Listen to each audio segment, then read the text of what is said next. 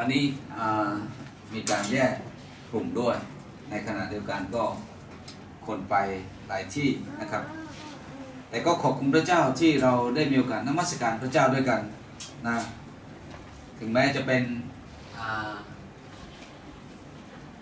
เจ็ดแปดเก้าคน แต่ว่าในพระคัมภีร์บอกว่าสองสามคนรวมตัวกันนมัสการพระองค์ที่ไหน พระเจ้าก็จะทรงสถิตอยู่ที่นั่นใช่ไหมครับ พระเจ้าไม่ได้บอกว่านมัสการเป็นร้อยแล้วพระเจ้าจะอยู่ด้วยนะแต่พระองค์บอกว่าสองสามคนเท่านั้นนะฮะอยู่ที่ไหนพระองค์ก็จะอยู่ที่นั่นด้วยนะจริงๆแล้วนี่นี่เป็นสิ่งที่พระเจ้าได้บอกไว้ แต่ว่าในในพระคำของพระเจ้าเมื่อเราศึกษาเราจะเห็นว่า พระเจ้าของเรานั้นสถิตอยู่ ทุกแห่ง ใช่ไหมในเวลาเดียวกันได้นะซึ่งคุณสมบัติในลักษณะเช่นนี้มีเฉพาะพระเจ้าเท่านั้นนะในพระคัมภีร์บอกพระองค์ทรงเป็นพระวิญญาณนะเมื่อกับเมื่อกับออกซิเจนอยู่ที่ไหนเมื่อพระเจ้าก็เหมือนทรงสถิตอยู่ที่นั่นด้วย เมื่อกับเป็นลมอยู่ที่ไหน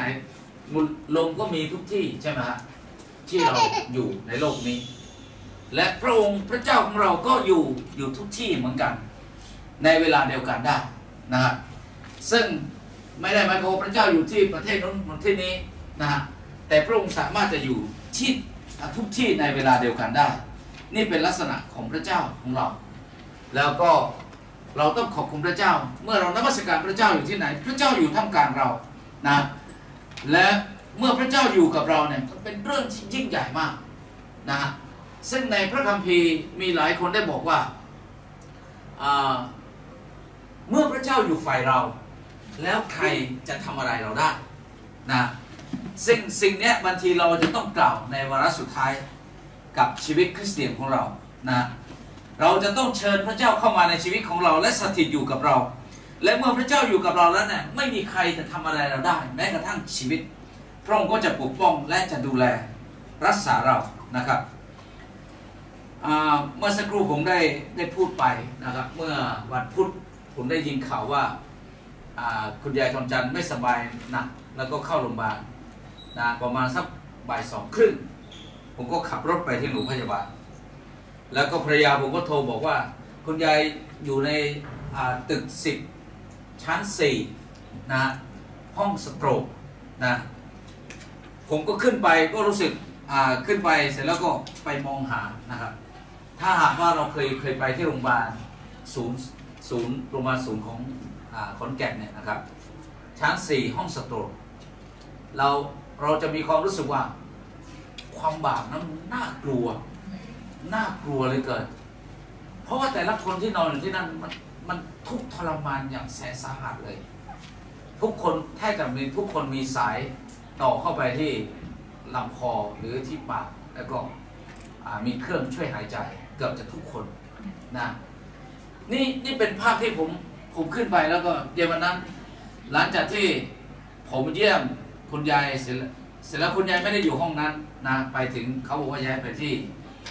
ตึกเก้าชั้นสองนะแล้วก็ได้ไปพูดคุยกับคุณยายแล้วก็ให้กำลังใจเสร็จแล้วผมกลับบ้าน เย็นวันนั้นผมกินข้าวไม่ได้เลย ผมรู้สึกว่าผมหูใจมากกับสิ่งที่เกิดขึ้นกับชีวิตของมนุษย์นะความทุกข์ทรมานที่เกิดขึ้นกับมนุษย์ ในขณะที่เรารู้สึกว่าเรากำลังมีความสุขกับการนมัสการเราอยู่ท่ามกลางเช่นนี้เนี่ย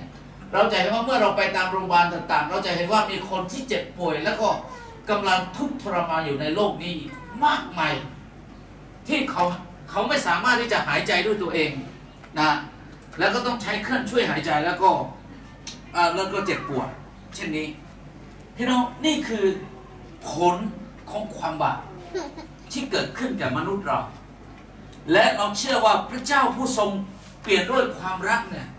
พระองค์อยากจะกลับมาโดยเร็ว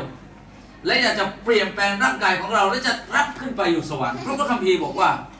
เมื่อพระเยซูคริสต์มาปรากฏเนี่ยพระองค์จะมาเปลี่ยนแปลง ร่างกายของเราใหม่ ไม่ใช่ร่างกายแบบนี้ ไม่ใช่ร่างกายที่เป็นความบาปแต่เป็นร่างกายที่เป็นอมตะนะฮะไม่ใช่เป็นมัตตะ แต่จะเป็นร่างกายที่เป็นอมตะ ผมชอบข้อพีข้อนี้มากผมในเวลาที่ผมเยี่ยมคุณยายทองจันทร์นั้นผมคิดถึงข้อพระคัมภีร์ข้อนี้อย่างอย่างสุดหัวใจของผมเลยนะครับ ถ้าว่าพี่น้องมีพระคัมภีร์ลองเปิดไปด้วยกันนะครับใน ในพระธรรมฟิลิปปีบทที่ 3 ข้อที่ 21 นะ บทที่ 3 ข้อที่ 21 ได้กล่าวไว้อย่างนี้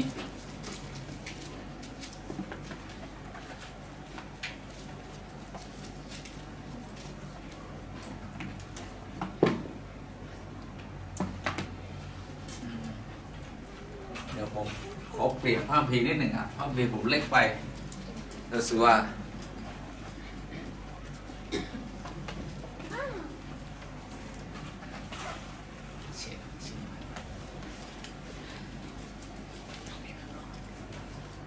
รู้สึกว่าอยู่บ้านมองเห็น แต่ว่าอยู่ที่นี่มองไม่เห็น นี่นี่คือผลของความบาปใช่ไหมผลของความบาปที่กำลังอ่าทำลายสภาพร่างกายของเรา และพระเจ้าของเราก็ต้องการที่จะเปลี่ยนแปลงเรา และก็กลับได้มีโอกาสกลับไปอยู่กับพระองค์นะมีท่านใดเจอช่วยอ่านดังๆหน่อยก็ได้ครับ บทที่ 3 ข้อที่ 21 พระองค์จะทรงเปลี่ยนแปลงร่างกายอันต่ำต้อยของเราให้เหมือนพระกายของพระองค์ที่เต็มด้วยพระรัศมี ตามพลังอำนาจที่ทำให้พระองค์สามารถให้ทุกสิ่งอยู่ใต้อำนาจของพระองค์ ครับ เราจะเห็นชัดเจนในที่นี้บอกว่าพระองค์จะทรงเปลี่ยนแปลงร่างกายอันต่ำต้อยของเราให้เหมือนพระกายของพระองค์ใช่ไหมครับ นี่คือสิ่งที่ผมคิดถึงคิดถึงในเวลาที่ไปเยี่ยมอ่า คุณยายแล้วก็เห็นหลายคนต้องใส่ท่อช่วยหายใจ แล้วก็นอนอยู่ แล้วก็คิดถึงผลของความบาปที่น่ากลัวเช่นนั้นนะถ้าช่วงบ่ายนี้ถ้ามีใครว่างเราจะไปเยี่ยมด้วยกัน ก็เราจะเห็นนะแล้วก็แต่ว่าเมื่อคิดถึงข้อความดีข้อนี้เนี่ยพระเจ้าทรงสัญญากับเราทั้งหลายว่า พระองค์จะทรงเปลี่ยนใช่ไหมฮะเปลี่ยนร่างกายเปลี่ยนร่างกายอันต่ำต้อยของเราให้เป็นเหมือนกับพระองค์นะ ให้เป็นเหมือนกับพระองค์ให้เป็นเหมือนให้เป็นเหมือนพระสิริของพระองค์บานบานฉบับเนี่ยได้บอกว่า พระองค์จะเปลี่ยนร่างกายอันต่ำต้อยของเราให้เป็นเหมือนพระสิริของพระเจ้านะฮะอันนี้คือสิ่งที่ผมปรารถนามาก และก็สิ่งที่เราจะได้รับที่ที่ผู้เชื่อในพระเจ้าทุกคนจะได้รับสิ่งนี้ เมื่อพระเยซูเสด็จมาปรากฏนะครับ เราเชื่อว่าพระเจ้าทรงอยู่กับเราในเช้าวันนี้ผมจะเทศนาเกี่ยวกับเรื่องของอิมมานูเอล พี่น้องเคยได้ยินชื่อเนี่ยไหมครับ อิมมานูเอล แปลว่าอะไรครับ อิมมานูเอล แปลว่า พระเจ้าทรงอยู่กับเรา พระเจ้าทรงสถิตอยู่กับเรา นะ อิมมานูเอลแปลว่าพระเจ้าทรงสถิตอยู่กับเรา หลายๆครั้งเราก็ผมก็คิดว่าเอ๊ะทำไมพระเจ้าอยากจะมาสถิตอยู่กับเรา เพราะพระองค์ทรงเป็นผู้สร้างเรา ใช่ไหมครับ พระองค์รักเราพระองค์ก็อยากจะอยู่กับเรา เราเรารักใคร เราก็อยากจะอยู่กับคนนั้น ใช่หรือเปล่า คนนั้นใช่ไหมครับเรารักใครเราก็อยากจะอยู่กับคนนั้นใช่พระเจ้าทรงรักเราพระองค์ก็อยากจะอยู่กับเรานะเมื่อเราดูย้อนกลับไปในปฐมกาลบทที่สองเราจะเห็นว่า เมื่อพระเจ้าทรงสร้างทุกสิ่งทุกอย่างแล้ว พระองค์ก็ทรงสร้างมนุษย์ คู่แรกขึ้นมา หลังจากที่ทรงสร้างมนุษย์เสร็จแล้วเนี่ยถ้าเราดูอ่านบทที่สองเราจะเห็นว่า ทุกๆเย็นพระองค์เสด็จมาหาอาดัมและเอวาและอยู่กับเขา คุยกับเขาเดินไปด้วยกันน่าจะสงสัยน่าจะจับมือแล้วก็เดินไปด้วยกันด้วยนะนี่คือความรักของพระเจ้าที่ทรงมีให้กับมนุษย์ที่พระองค์ได้ทรงสร้างขึ้นมา แต่แล้วเราจะเห็นว่ามนุษย์ตกสู่ความบาปใช่ไหมมนุษย์ไม่เชื่อฟังพระเจ้า พระเจ้าก็เลย เมื่อวันวันที่เอวาไม่เชื่อฟังพระเจ้าไปกินผลไม้ที่พระเจ้าบอกว่าอยากกิน แล้วก็หลังจากที่เขากินเสร็จแล้วเนี่ยเย็นวันนั้นพระองค์มา เมื่อพระองค์มาแล้วทั้งสองคนไปอยู่ที่ไหนครับ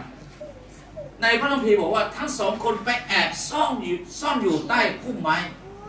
ไม่อยากจะเห็นพระองค์นะฮะคนที่เป็นคนบาปเห็นพระเจ้าไม่ได้ เขาจะกลัวอุอุปนิสัยเช่นนี้ก็ เกิดขึ้นกับชีวิตของมนุษย์เราทุกวันนี้เหมือนกัน ใช่ไหมครับ ถ้าสมมติว่าเราทำผิดอะไรสักอย่างหนึ่งถ้าสมสมมติว่าน้องไอ้ทำผิดกับอาจารย์เนี่ย น้องไอ้กล้ามองหน้าอาจารย์ไหมไม่กล้าสิ่งนี้มันจะเกิดขึ้น เมื่อเอวากับอาดัมทำผิดต่อพระเจ้าเขาก็ไม่กล้ามองหน้าก็เลยไปซ่อนไว้ ในที่สุดความสัมพันธ์ระหว่างมนุษย์กับพระเจ้าจึงห่างเหินไปนะตอนแรกพระเจ้าก็อยู่กับเรา อยู่ด้วยกัน เดินด้วยกันพูดคุยกัน เป็นเป็นอะไรที่มีความสัมพันธ์ที่ดีต่อกัน แต่เมื่อทำผิดต่อกันทำผิดต่อพระเจ้า ความสัมพันธ์นั้นก็หายไปนะและความการที่ความสัมพันธ์นั้นหายไปเนี่ยเกิดความทุกข์ทรมานอย่างยิ่งใหญ่เกิดขึ้นกับชีวิตก็คือความตาย เกิดขึ้นกับมนุษย์ของเรานะฮะแต่เราจะเห็นว่าพระเจ้าก็ไม่ลดละที่จะเข้ามาใกล้กับมนุษย์เรา พระองค์อยากจะมาสถิตอยู่กับมนุษย์เรา นะในสมัยของอโมเสสเนี่ยพระองค์ได้บอกไว้ในในอพยพนะพี่น้องในอพยพบทที่ 25 ข้อที่ 8 พระองค์บอกว่าให้ท่านทั้งหลายนั้นสร้างพระพราขึ้นมา เพื่อเราจะลงมาสถิตอยู่ท่ามกลางพระเจ้านะฮะอพยพบทที่ 25 ข้อ 8 พระเจ้าบอกว่าพระองค์อยากจะมาอยู่ท่ามกลางประชากรของพระองค์นะฮะ แล้วในช่วงเวลาที่ชนชาติอิสราเอลเดินทางออกจากอียิปต์ไปยังแผ่นดินแห่งคำสัญญาของพระเจ้าเนี่ยพระองค์ก็อยู่กับเขานะครับ แต่พระองค์อยู่ในในสภาพที่ไม่ได้เป็นเป็นพระกายของพระองค์นะฮะอย่างพระองค์ลงมาสถิตอยู่กับอิสราเอลในเวลากลางวันเนี่ยกลายเป็นสาวเมฆเห็นไหมเขาเดินทางอยู่ในทะเลทรายเนี่ยพระเจ้าแปลงร่างของพระองค์เป็นสาวเมฆ ปิดบังดวงอาทิตย์ให้คนของพระองค์นั้นเดินที่เดินที่ร่มเดินในที่ร่มนะฮะไม่ต้องเจอแดดโอ้โหขอบคุณพระเจ้าอย่างมากมายเลยนะฮะแล้วในเวลากลางคืนพระองค์ก็แปลงร่างของพระองค์มาเป็นเสาไฟนะให้เขาได้เห็น นี่คือลักษณะของพระเจ้าที่ลงมาสถิตอยู่กับคนของพระองค์จากภาพตรงนี้เราจะเห็นว่าพระเจ้าของเรานั้นทรงเป็นพระเจ้าที่อยากจะอยู่กับมนุษย์เราเลย อยากจะอยู่ท่ามกลางเรา แล้วเมื่อพระเจ้าเมื่อพระเจ้าทรงบอกให้โมเสสสร้างพระพาขึ้นมา พระองค์ก็เสด็จลงมาสถิตอยู่ที่พระพาท่ามกลางประชากรของพระเจ้า ถ้าเราดูในพระธรรมอพยพเนี่ยเราจะเห็นว่าในเวลาที่พระเจ้าให้ชนชาติของพระองค์สร้างพระพรานั้น พระพราของพระเจ้าจะไม่สร้างนอกเมืองนะครับ แต่พระพราของพระเจ้าจะอยู่ ตั้งอยู่ท่ามกลางประชากรของพระเจ้าเลย เมื่อพระพาของพระเจ้าตั้งลงปุ๊บประชากรของพระเจ้าชนชาติอิสราเอลก็จะตั้งเต็นท์ล้อมรอบพระพานั้นนะและให้พระพาของพระองค์นั้นเป็นสงสงรวมแห่งดวงดวงใจของเขานะเพราะพระองค์สถิตอยู่ที่นั่นนะฮะอันนี้คือคือเป็นภาพที่เราเห็นว่า พระเจ้านั้นอยากจะลงมาสถิตท่ามกลาง มนุษย์ของเรานะอีกข้อหนึ่งอยากจะให้ดูว่าพระเจ้าปรารถนาที่อยากจะอยู่กับมนุษย์เราอย่างไรนะครับยอนพระธรรมยอนบทที่หนึ่งข้อที่สิบสี่ยอนเฉยๆนะครับยอห์นบทที่หนึ่งข้อที่สิบสี่นะ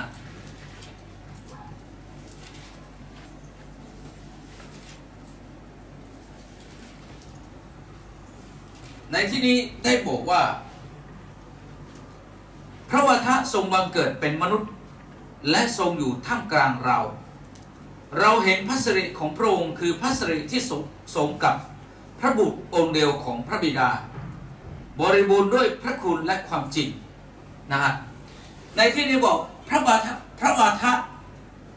ทรงเกิดเป็นมนุษย์และทรงอยู่ท่ามกลางเรา พระวาทะในที่นี้หมายถึงพระเยซูคริสต์ พระเยซูคริสต์นั้นทรงเกิดเป็นอะไรครับ มนุษย์และทรงอยู่ท่ามกลางเรา ถ้าพระเจ้าไม่ได้บังเกิดเป็นมนุษย์เนี่ยอยู่ท่ามกลางมนุษย์ได้ไหมครับ ไม่ได้ทำไมไม่ได้ เพราะมนุษย์จะตายด้วยรัศมีภาคของพระเจ้านะเมื่อเราอ่านศึกษาพระคำของพระเจ้าเราเห็นว่า ในวันที่พระเยซูจะปรากฏบนฟ้าสวรรค์เนี่ยมีคนจำนวนมากมาย ที่ไม่ได้ถูกไถ่ให้พ้นจากความบาปเนี่ยเขาจะกลัว เขาจะกลัวพระเจ้า และมีคนจำนวนมากมายผู้ผู้มีอำนาจทั้งหลายที่ไม่ได้เชื่อพระเจ้าเนี่ยเขาจะหนีเข้าไปในถ้ำแล้วก็ร้องบอกแก่ก้อนหินเหล่านั้นว่า ขอลงมาทับเราให้ตายซะทำไมครับทำไมเขาร้องอย่างนั้น เขาไม่อยากจะเห็นพระเยซูเขากลัวรัศมีภาพของพระเจ้า ฉะนั้นเมื่อพระเจ้าถ้าพระเจ้าเสด็จลงมาเป็น พระพระลักษณะของพระองค์เลยเนี่ยมนุษย์ไม่สามารถที่จะรับได้ ดังนั้นพระเจ้าจึงมาในรูปของมนุษย์นะฮะในในทางพระเยซูคริสต์พระองค์จึงบางบางเกิดเป็นมนุษย์ลักษณะเหมือนกับเราทุกประการเลย แล้วก็อยู่ท่ามกลางเรานะครับ เพราะพระเจ้าอยากจะอยากจะสอนมนุษย์ว่าโอ้ลักษณะอุปนิสัยของพระเจ้าจริง ๆ แล้วเป็นอย่างนี้ อุปนิสัยของพระเยพระเจ้าจริงๆแล้วเป็นอย่างนี้ะพี่น้องเคยมีใครเคยอ่าน พระกิติคุณพระพระกิติคุณจบบ้างมีไหมมัทธิวมาระโก ลูกา ยอน มีใครเคยอ่านจบมีไหมครับ มีใครอ่าอ่านพระกิตติคุณชีวิตของพระเยซูแล้ว รู้สึกยังไง นะ หลายคนอาจจะสงสัยว่าหลายคนอาจจะเคยดูหนังชีวิตของพระเยซู มีใครเคยดูไหมครับ ตั้งแต่เกิดจนกระทั่งถูกตรึง แล้วก็เป็นขึ้นมา แล้วคนที่แสดงนี่เป็นยังไงวันนิสัยเป็นยังไงครับ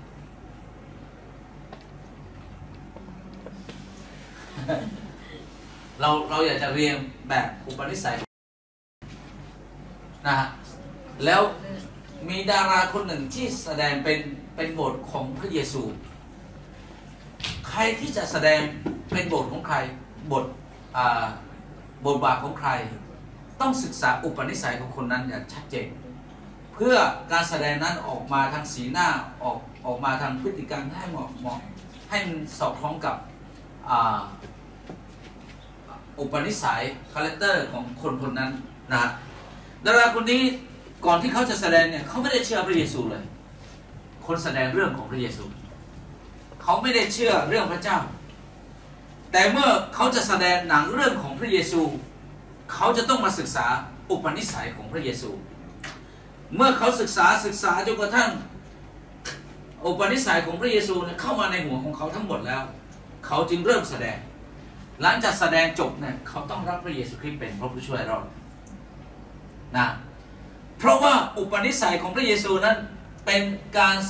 สืบทอดมาจากพระลักษณะของพระเจ้านะครับพระเยซูมาในโลกนี้มาสำแดงพระลักษณะของพระเจ้า พระองค์ไม่ได้มาในฐานะพระเจ้าผู้ยิ่งใหญ่ แต่พระองค์มาในฐานะมนุษย์เพื่อต้องการจะอยู่ท่ามกลางมนุษย์ของเรา จะอยู่ท่ามกลางเรา และจะสำแดงความรักของพระบิดาให้กับเรานะเราจะเห็นว่าชีวิตของพระเยซูเนี่ย เต็มไปด้วยการเสียสละนะฮะพระองค์ไม่มีความเห็นแก่ตัว พระองค์มีแต่ให้นะฮะพระองค์มีแต่รักนะจนกระทั่งมีคนบอกว่าพระเยซูนั้นรักคนที่ไม่น่ารักนะแต่มนุษย์เราเนี่ยจะรักคนที่น่ารักเท่านั้น แต่จะไม่รักคนที่ไม่น่ารัก แต่สำหรับพระเยซูแล้วพระองค์ทรงรักคนที่ไม่น่ารักด้วยนะนี่คือสิ่งที่เกิดขึ้นในชีวิต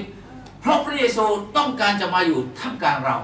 ตามชื่อของพระเยซูก็คืออิมมาโนเอลคือพระเจ้าต้องการที่จะอยู่ท่ามกลางเรานะครับ เราดูนะครับอีกข้อหนึ่งมัทธิวบทที่หนึ่งข้อที่ 23 มัทธิวบทที่หนึ่งข้อที่ 23อ่าชื่อนี้แปลว่าอะไรพระคัมภีร์เมื่อสักครู่ผมได้พูดไปแล้ว แต่ว่าพระคัมภีร์ได้กล่าวไว้เช่นนี้นะครับ มัทธิวบทที่หนึ่งข้อที่ 23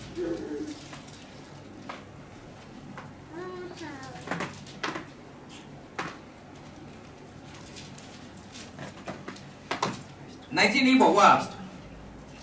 นี่เนี่ยหญิงภูมาจารีคนหนึ่งจะตั้งครรภ์และคลอดบุตรชายคนหนึ่ง และเขาจะเรียกนามของท่านว่า อิมมานูเอลวงเล็บแปลว่า พระเจ้าสถิตกับเรา เห็นไหมครับ ฉะนั้นเราจะเห็นความรักของพระเจ้าอย่างชัดเจนในพระคำของพระองค์ว่า พระองค์ปรารถนาที่จะอยู่กับเรา พระองค์ไม่ปรารถนาที่จะอยู่ห่างไกลจากเรา แต่พระองค์ปรารถนาที่จะอยู่กับเรานะและพระมาในโลกนี้และอยู่ท่ามกลางเราในพระองค์มาเพื่อสำแดงสำแดงพระลักษณะนิสัยของพระเจ้าให้กับเราทั้งหลาย เพื่อเราจะได้เรียนแบบจากพระองค์ผมอยากจะให้เราดูชัดเจนเกี่ยวกับลักษณะอุปนิสัยของพระเยซูนะผมอยากจะขอให้น้องไอซ์เปิดในพระธรรม ฟิลิปปีบทที่ 2 และก็อ่านข้อ 6 ถึงข้อที่7นะแล้วก็อ่าคุณนกก็ได้เนาะอิสยาห์บทที่ 14 ข้อ 13 ถึงข้อที่ 14นะแล้วเราเราอ่าคนนกอ่านเราก็ได้นะสยาบทแต่น่าจะบทที่ 14 ข้อ 13 และ 14นะแล้วก็น้องไอซ์ ฟิลิปปีบทที่ 2 ข้อ 6 ข้อ 7 นะครับ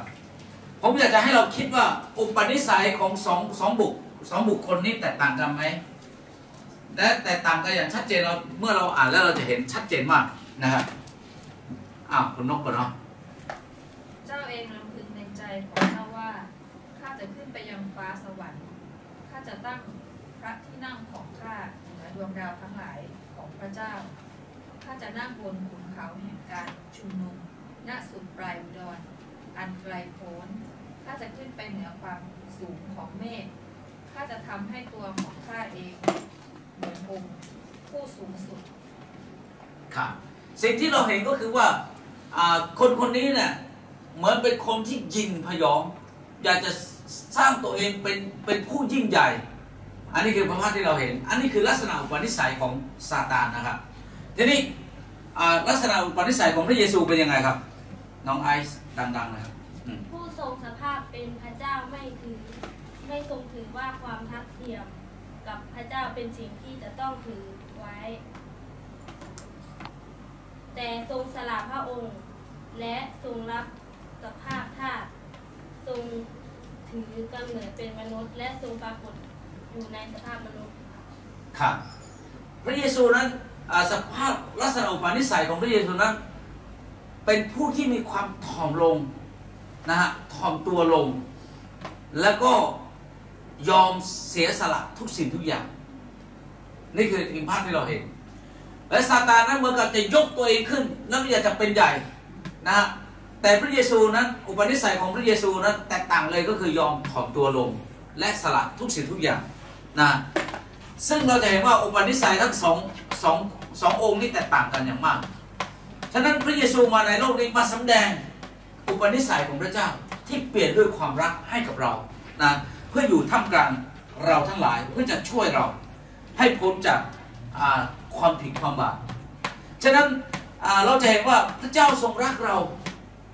และพระองค์ก็เรียกร้องชีวิตคริสเตียนทุกวันทุกวันว่าให้ชีวิตของเรานั้นมีความแตกต่างกับคนที่ไม่มีความเชื่อในพระเจ้า ถ้าเราเหมือนเหมือนความแตกต่างระหว่างข้อความมีสองข้อนี้ เราจะเห็นภาพที่ชัดเจนค่อนข้างจะชัดเจนมาก แต่ลองคิดดูว่าถ้าชีวิตคริสเตียนของเรา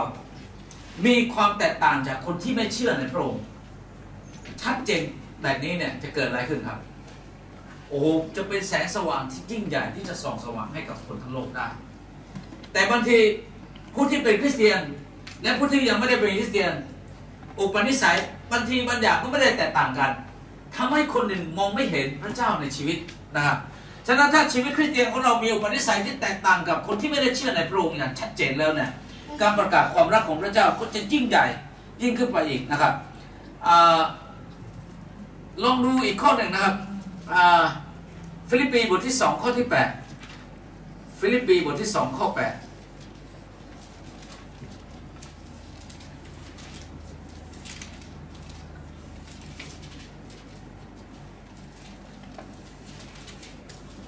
ในที่นี้บอกว่า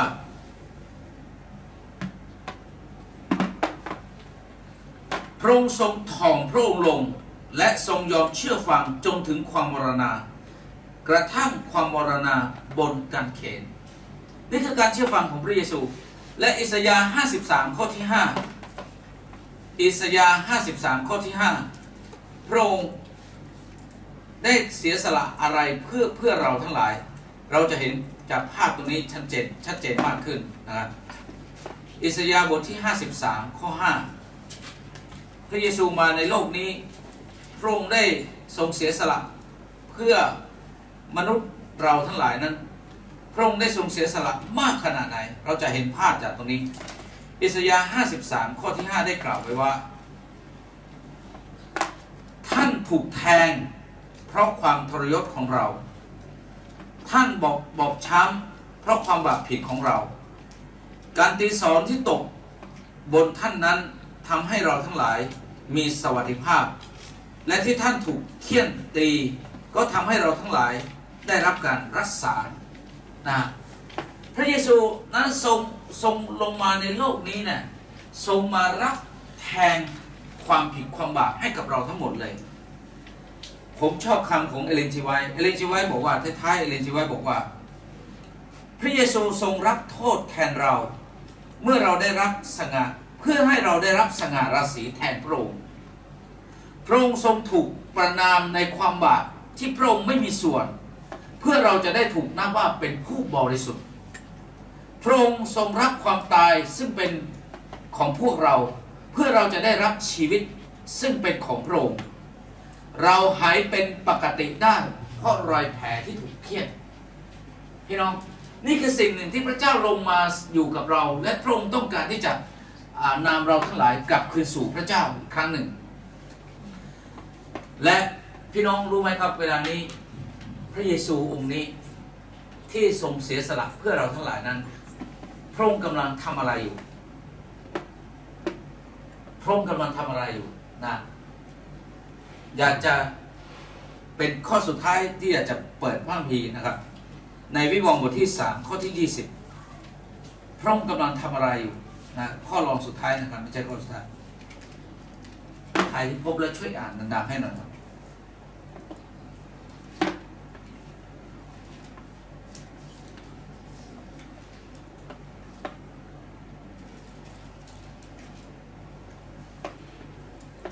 ใน วิวรณ์บทที่3ข้อที่20พระองค์กำลังทำอะไรอยู่ พระองค์ลงมาสถิตอยู่ท่ามกลางเราทั้งหลายแล้ว และพระองค์กำลังทำอะไรอยู่อยากจะให้ช่วยอ่านดังๆให้หน่อยครับคนนอกก็ได้ครับนี่แน่เรายืนเคาะอยู่ที่ประตู ถ้าใครได้ยินเสียงของเรา และเปิดประตู เราจะเข้าไปหาเขา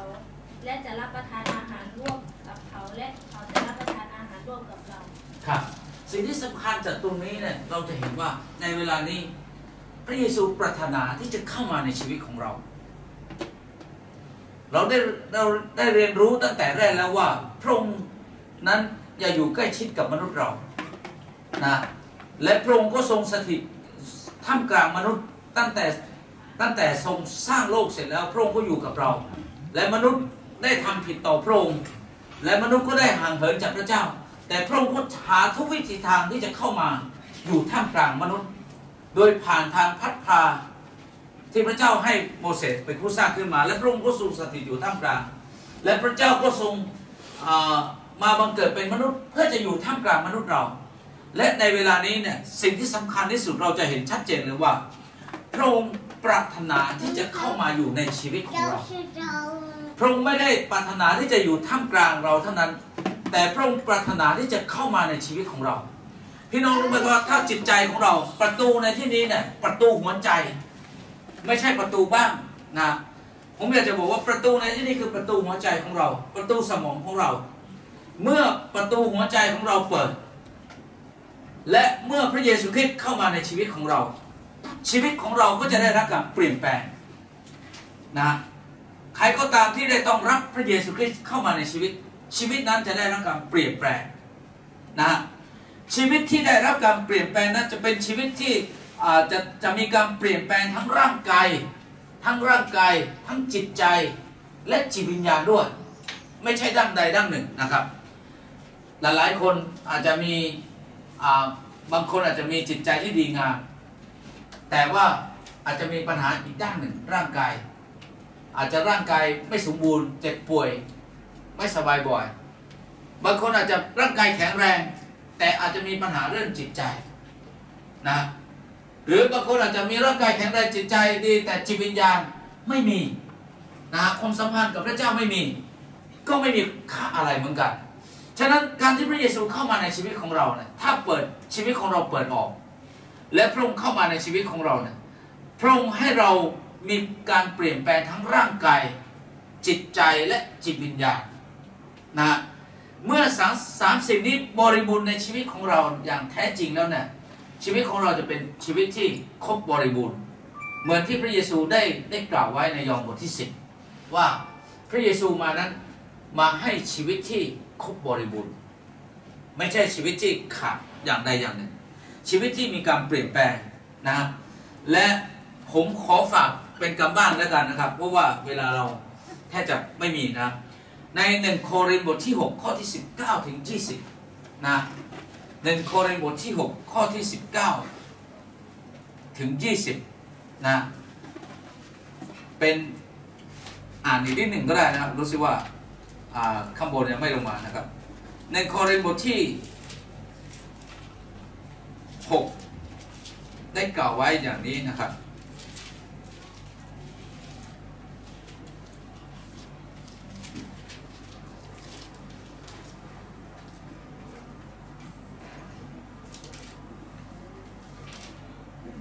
ข้อที่ 19 และ 20 บอกว่า ท่านรู้แล้วไม่ใช่หรือว่าร่างกายของท่านเป็นวิหารของพระวิญญาณบริสุทธิ์ ผู้สถิตในท่าน ผู้ซึ่งพวกท่านได้รับจากพระเจ้า และท่านทั้งหลายไม่ใช่เจ้าของตัวท่านเอง เพราะพระเจ้าได้ทรงซื้อท่านไว้แล้วด้วยราคาสูง ฉะนั้นจงถวายเกียรติแด่พระเจ้าด้วยร่างกายของพวกท่านเถิดนะซึ่งในที่นี้เนี่ย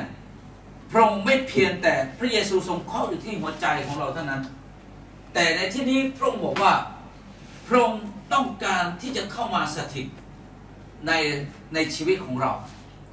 เมื่อสักครู่เนี่ยผมได้พูดถึงว่าพระเจ้าปรารถนาจะอยู่ท่ามกลางประชากรของพระเจ้าในสมัยของชนชาติอิสราเอล พระองค์ก็ให้สร้างพระพลาขึ้น นะและพระองค์ก็ลงมาสถิตอยู่ในพระพานั้น และพระพานั้นจะเป็นที่สะอาดบริสุทธิ์นะเพราะพระเจ้าทรงสถิตอยู่ที่นั่น และในเวลานี้พระพานั้นไม่มีแล้วพระเยซูมาแล้ว พระองค์ปรารถนาที่จะเข้ามาสถิตอยู่ในชีวิตของเรา พระองค์เรียกเราทั้งหลายว่าเป็นวิหารของพระเจ้าเลย ระองค์เรียกร่างกายของเราว่าเป็นวิหารของพระเจ้าเลย และพระองค์ก็ได้ซื้อวิร่างกายของเราไปแล้ว ด้วยโลหิตของพระองค์ฉะนั้นพระองค์จึงอยากจะเข้ามาสถิตอยู่ในชีวิตของเรา พี่น้องครับนี่คืออข่าวสารที่ผมนำมาแบ่งปันในเช้าวันนี้ ให้เราได้ตัดสินใจและคิดตึกตองใหม่อีกครั้งหนึ่งในชีวิตของเราว่า เราได้เปิดหัวใจของเรา ให้พระเยซูคริสต์ได้เข้ามาในชีวิตของเราแล้วหรือยังถ้าว่าเราเปิดพระองค์บอกว่าพระองค์จะเข้ามาและจะอยู่กับเรา และชีวิตของเราก็จะได้รับการเปลี่ยนแปลงทั้งร่างกายจิตใจและจิตวิญญาณครับ ขอพระเจ้าได้อวยพรในเช้าวันนี้นะครับ เราจะร้องเพลงปิดการประชุมด้วยกันนะครับ ของช่วงแรก